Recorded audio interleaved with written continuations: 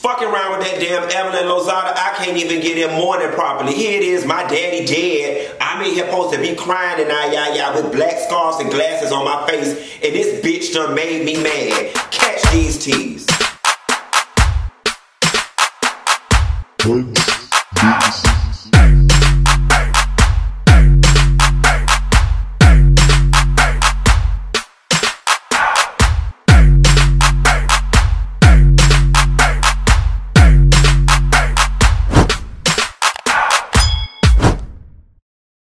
Nessa girl, you know it got to be some serious shit if I don't came out of morning to get this bitch together. I am so sick and tired of Evelyn Lozada ass. I was sitting on my sofa minding my business like I always do, eating my motherfucking egg roll, trying to plan out in my mind what suit I'm gonna put in my bag because I gotta get on a flight tomorrow and bury my daddy. And I seen an article from TMZ talking about she done sued, old filing restraining order against OG. She don't want her nowhere around her. And this shit in infuriated me. I was already upset with Evelyn about this nigga word and this poor ass explanation of her being Afro Latina, but I just let it ride. Before we get into this, let me first start off and say I am actually pissed off and offended by a whole lot of y'all. There are some of y'all out there in my viewing, my followership, who is so just want to believe anything and everything somebody says about me that y'all connect dots that don't even fucking exist. And in this instance, I hope you feel bad and you are ashamed of yourself. So many of y'all jumped down in my comments and was like, fucking Aniba, fucking Aniba, hi. It's so funny how they attacking OG, the dark skinned girl. There's a colorism issue and now all of a sudden you silent. You ain't saying nothing. I hope you feel real fucking stupid. My daddy was somewhere dying, bitch.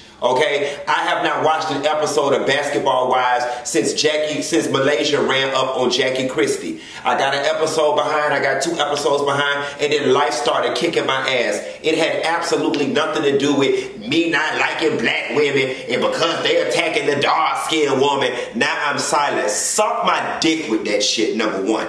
Number two, Evelyn, let's get on this color and this dark skinned woman and this N word before I wrap it up. And Shaunie O'Neal, depending on how much breath I got left in my throat by the end of this video, your ass might get some too. Evelyn caught backlash for using the word nigga. A lot of Puerto Rican people do. It's New York culture, it's hip hop culture. Fine. Who can use it, who can't use it? We'll fight that battle later. But what I did not like is that instead of just saying it's a cultural thing, listen, I grew up using that word, she tried to pull this whole I'm Afro Latina and I'm proud of where I come from, hence my right to use the word. Let me break this down for Evelyn and for the rest of you dumb, simple bitches out there. Yes, Evelyn, technically you are Afro Latina. Okay, you do have African blood in your lineage. However, there is a difference between being African, you know what I'm saying, and there's a difference between being black in America. And I'm sorry, by no sense of the word do you show up as a black woman. There's not a single space in America or abroad where you show up as a black woman. The world receives you as a spicy, sexy Latin woman. So what you tried to do was tie the word Afro-Latina into being black and use that as some haphazard, lazy-ass, pea-brain explanation as to you being able to use the word nigga. For one, I don't have, a, I personally don't have an issue with Evelyn, Puerto Ricans, or anybody else who are part of the culture urban culture using the word. What I do have a problem with is that you navigate this world taking advantage of all the privileges that come with being a non-black woman. Then when your ass is under fire, you want to try to claim some blackness. I did not like that. I did not like that. I did not like that. You know, I'm actually proud of myself that I'm able to articulate myself as emotional as I am right now without cussing you out and being all gutter brain with my mouth. I'm approaching 40, so I'm trying to do a little better and now, yeah, yeah, and I'm going to keep it going. Secondly, Evelyn, and I'm not saying this to be true for all Puerto Ricans, but I'm just going to speak in general, okay? Listen. Let's not act like you and many of your counterparts see it for black women or for the black girls. And yes, you was friends with Shaunie, and yes, you friends with Jen, okay? But they black like this and not like this, okay? Y'all have a way of being down with the black girls when they got money and when they got power. But Evelyn, you you strike me as the type who think you better because you got coffee colored skin and good hair or whatever. So, you know, we're gonna put a pin in this race issue real quick. I want to clear that Afro Latina shit up. Now, here's the shit that's really pissing me off. By reality television history, Evelyn Lozada is the most violent female reality star that we've seen in the last decade. And I say that, Evelyn, because you picked up a glass bottle filled with wine or liquor and slung it across the room in the direction of somebody's head. You then proceeded to jump on a table in an effort to get to Jen. All of a sudden, OG tries to deflect you from jumping on CC, slung your ass in the bushes, and now all of a sudden your pussy had a problem. Now we've been knew your pussy had a problem. It was friendly, the giving tree. You know what I'm saying? But when OG got a hold of that ass, now all of a sudden you pat your pussy. Let me ask you a question. What was wrong with the pussy? Why was it hot like Fire. Probably some of that leftover gonorrhea from Tami ex-husband or Chad Ocho Cinco Dos Tres and Nueve and every kink on your nigga you don't fuck from Baghdad back to Miami around the world and I ya ya again. I just don't understand it. And here's the funny thing about it. And I, I and I will be the first to admit this. When OG first stepped on the scene, I didn't really care for her. I didn't. She came on too strong. She was something that I was not used to. She carried a level of arrogance that I just not, didn't like, and I still don't like. However, and I still don't really care for the whole OG situation. I don't. But that's a personal thing. It's not for any other reason than my personality just doesn't mesh with hers. However, I can dislike somebody or not like somebody and still be fair. I'm going to tell you the one thing that I do respect about OG and the one thing that I do like about what she did. She stepped on the scene and broke up that mean girl shit. See, y'all had an issue with OG because y'all were so used to new girls coming on this show with this fake sorority mentality, kissing y'all ass to be a part of y'all circle. Then you do a Cinderella thing on them and you accept accept them for three or four episodes. Then the minute they do something that you get mad with, then you fall out with them again. And the whole dynamic over the years has been everybody trying to be down with the Evelyn crew. And you, you had a strong, a strong, and it has nothing to do with color. You had a strong woman who knew who she was, coming to this thing could care less than a fuck about being down with you, the pretty girl, this, that, and the third. She wasn't with your mean girl shit, and that was the only trick you had in your bag because you are a one trick pony. You are a one trick pony. You give beauty, body, and mean girl. That's all you could do. And when your one trick did not work and you had none other to pull out your bag, you came unraveled. And that's what's going on with you right now. I think it is funny and I'm so upset with Shaunie and the powers that be at, at, VH1. Yes, at the very end of the day, they can't physically control Evelyn in terms of her filing restraining orders, so on and so forth. She's a grown woman and she has free will. But I know that somebody, Jackie Christie, I know Jackie. Matter of fact, I may have to call Jackie Christie. I ain't used Jackie number in years. I'm gonna call Tami and get a good ass kiki out of this shit. Um, now that we back cool again, I know that everybody around you got to be looking at you like you got to be you've got to be fucking kidding me with this whole you fearful for your life thing. I think if it was Shaunie or even Jennifer, I could actually appreciate the restraining order and appreciate the whole um, um, um, I don't feel safe. Now I got an issue too going back to this damn reunion.